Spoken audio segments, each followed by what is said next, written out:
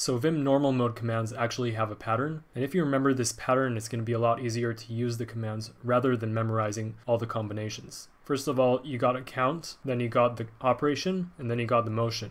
So if you use, for example, DW, this is going to mean delete word, one word, because I didn't put in a count. You can also do 2DW, it'll delete two words. If I do D around and then quotation, it's going to delete the quotation and its contents because it's around.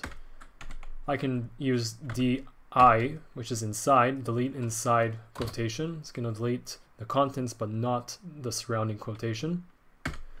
And of course you can use something else instead of quotation, it's going to work. So you can see the pattern here. Delete is the operation. In the same way I can use C, which is change. So change around quotation. It's going to do the same thing but put me in insert mode.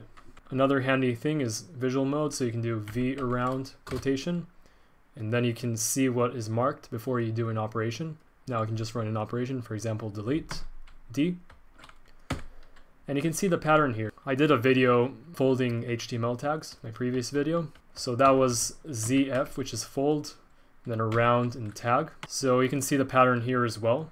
ZF is for fold, around tag is the motion, in the same way I can do D around and then tag. It's going to delete instead of folding. And that's it. Thanks for watching.